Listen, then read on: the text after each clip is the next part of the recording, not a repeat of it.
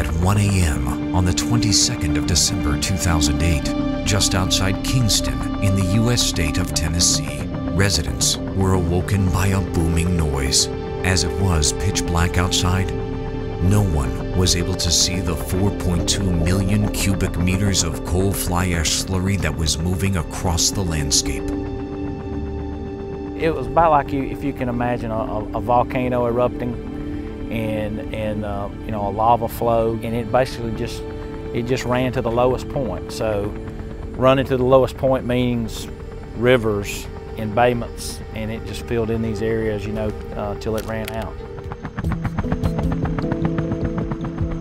What had happened was that a dam had burst. For over 50 years, the state-owned power company TVA had used that dam to wet store ash from the local coal power plant. Now the gray covered an area of 1.2 square kilometers. It was the largest discharge of wet coal fly ash in U.S. history. TVA's immediate action uh, uh, upon the uh, the spill is they it was a, all hands on deck. They brought every force they had here to, to try to make sure that the uh, community was protected and that the river was cleaned and to get things right uh, back back the way it was. And you know we've been working on it for two and a half years.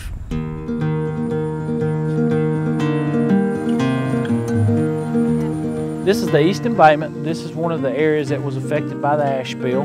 So we actually had to pump the water out of this area and uh, excavated the, you know the material out.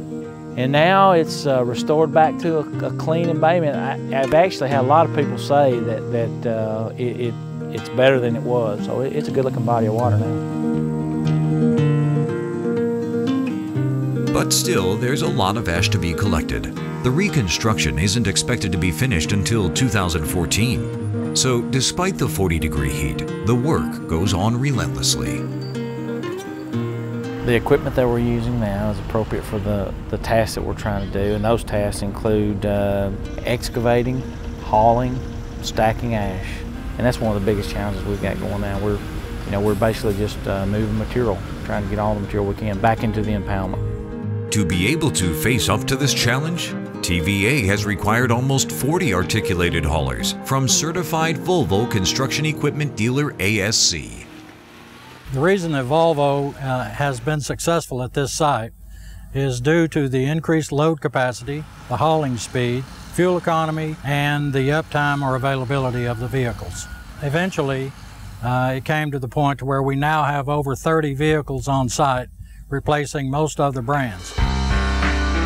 TVA, which stands for Tennessee Valley Authority, supplies over 9 million people with power every day, 700,000 of which are supplied by the Kingston Coal Plant. Such large operations come with big responsibilities, that's why TVA has taken the task of cleaning up the ash spill in Kingston. In doing so, however, they're trying to look at the positive side. I think I think there were there were several good things that came out of out of this you know tragedy.